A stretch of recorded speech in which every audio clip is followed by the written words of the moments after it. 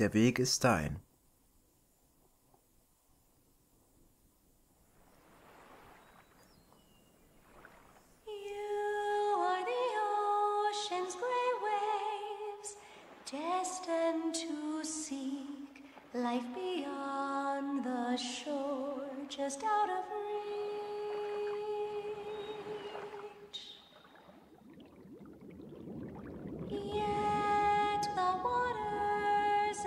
Change, flowing like time. The path is yours to climb.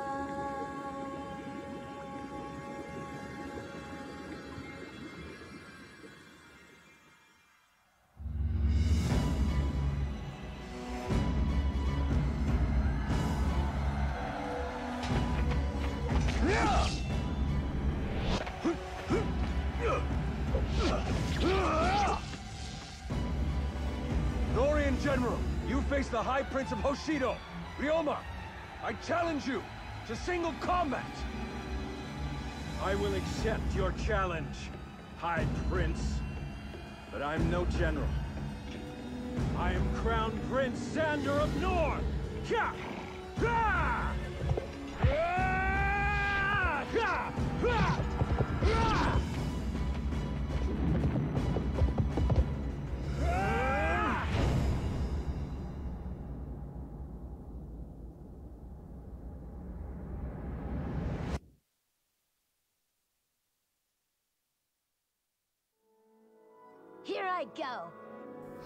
Komm schon, Kuma, wir haben noch einiges zu tun. Aua.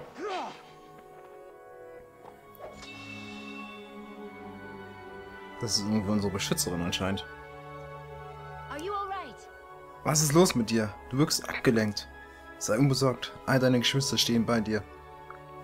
Die Noren haben nichts, haben nicht die geringste Chance gegen uns. Alle besiegen. Na gut.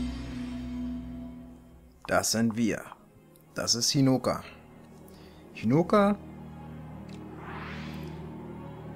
ist das. Cool.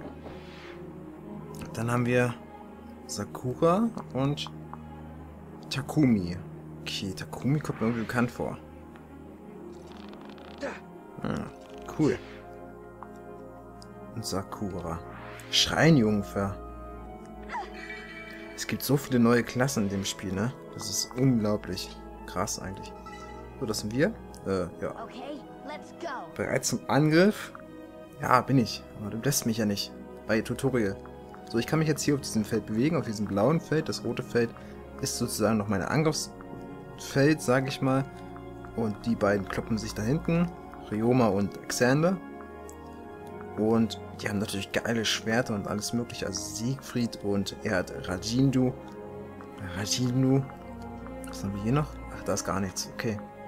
So, wir haben nur ein gammeliges Bronzeschwert, haben aber schon zwei Fähigkeiten. Und zwar einmal, also passive, das sind die passiven Fähigkeiten sozusagen, die man hat. Und zwar Seite an Seite.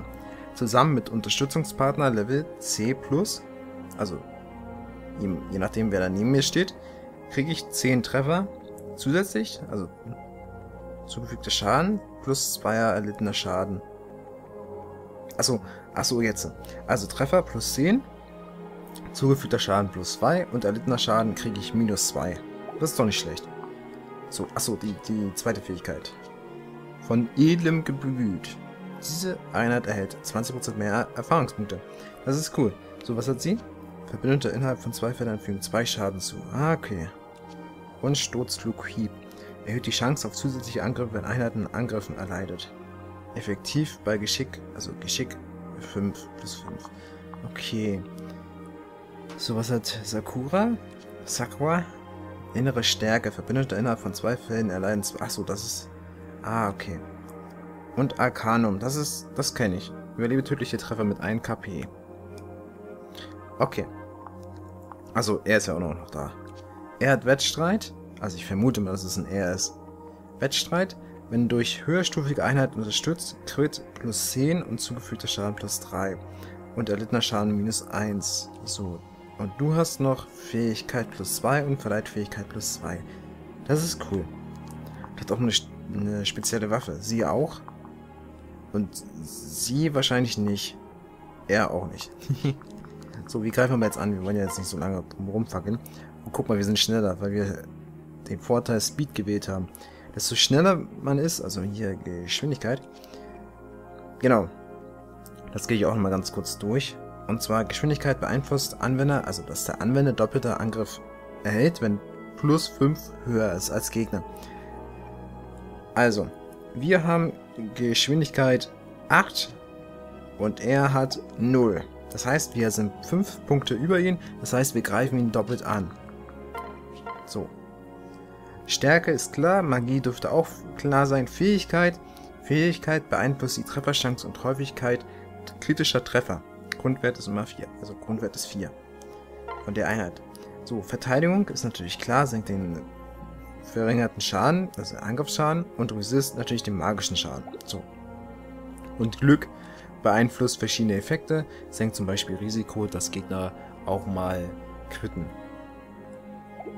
Nur damit ihr so ungefähr Bescheid wisst, wie das hier funktioniert.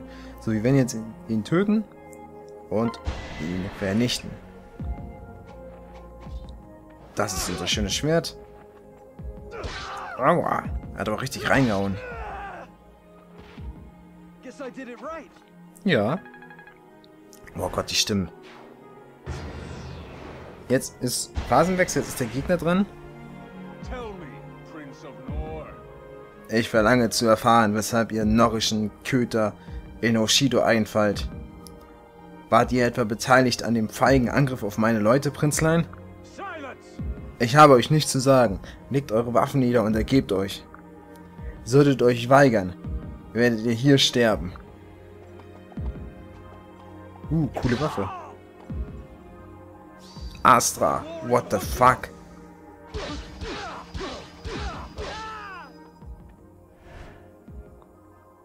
Oh no!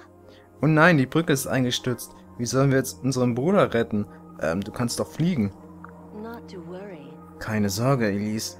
Unser Königli königliches Blut hat uns schon immer geholfen.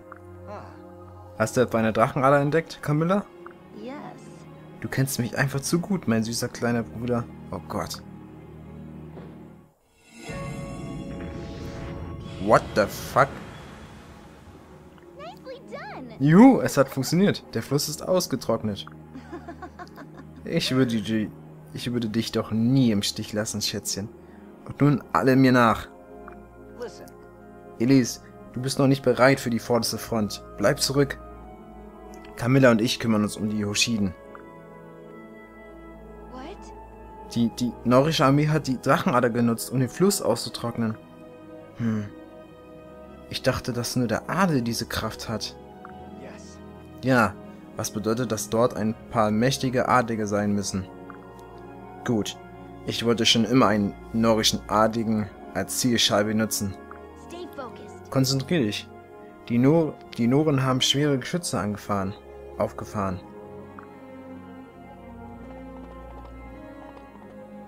Oh. Sind ganz schön viele hier. Cool.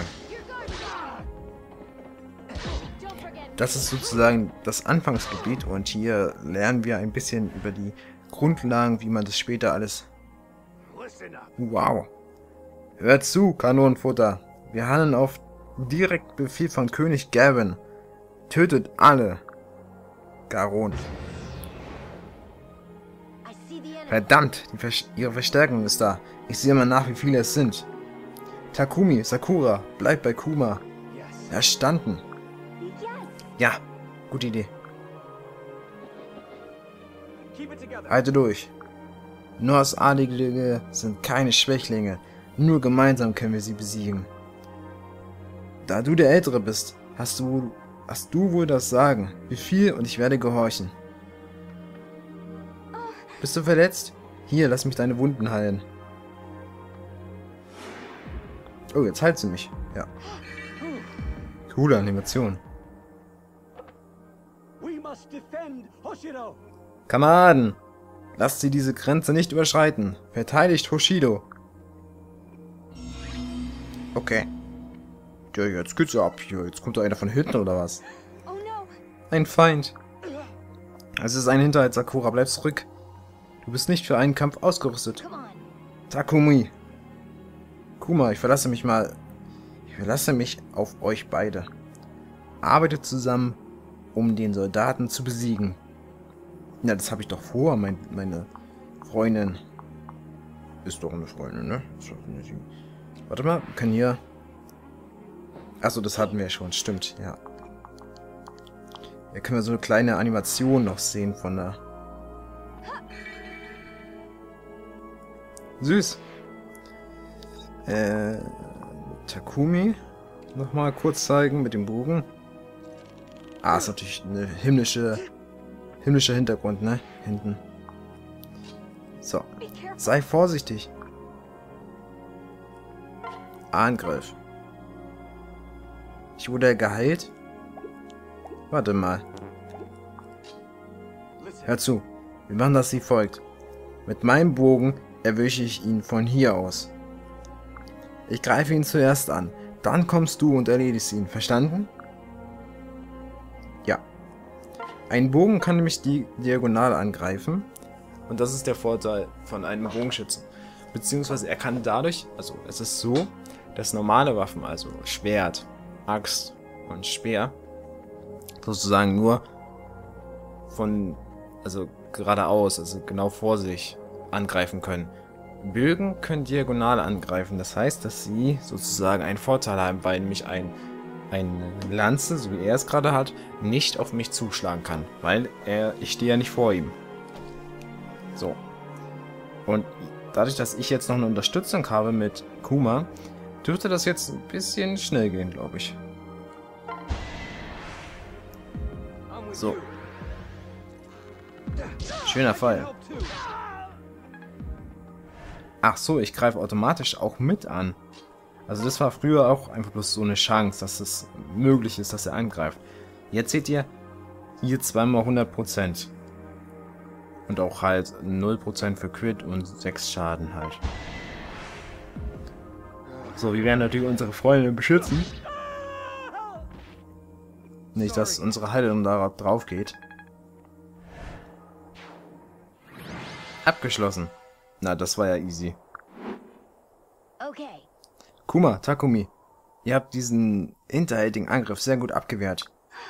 Amazing. Du, du warst großartig, Kuma. Das lief gut. Es lag wahrscheinlich daran, dass dir, n- dass dir jemand einen guten Rat gab. Das hab ich übrigens gerne gemacht. Come on. Wir haben keine Zeit zum Reden. Lass uns nachsehen, wie es Ryoma geht.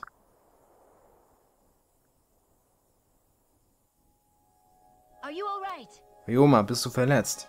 Yes. Es, es geht schon. Ich bin froh, dass es euch allen gut geht. Feindliche Streitkräfte marschieren in diese Richtung.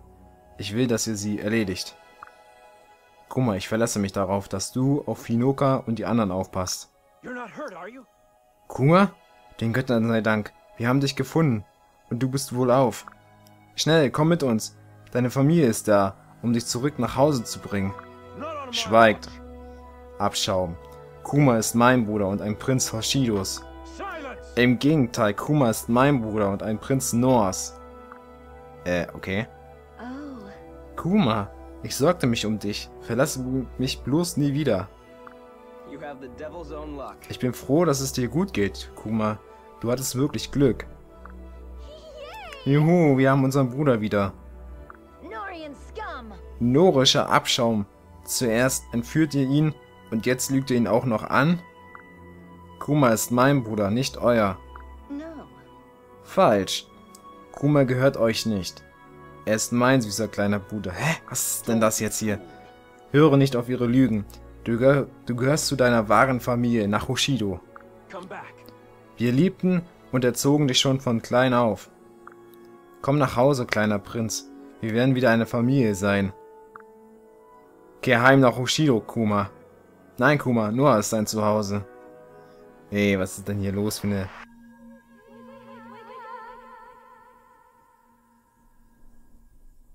Wake up? Was war denn das? War das alles nur ein Traum? Kapitel 1 Noah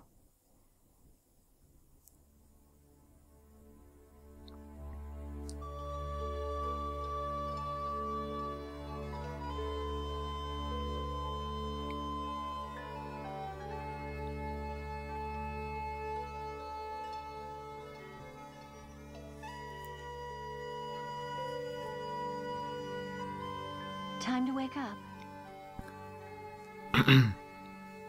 Raus aus den Federn, mein Lord.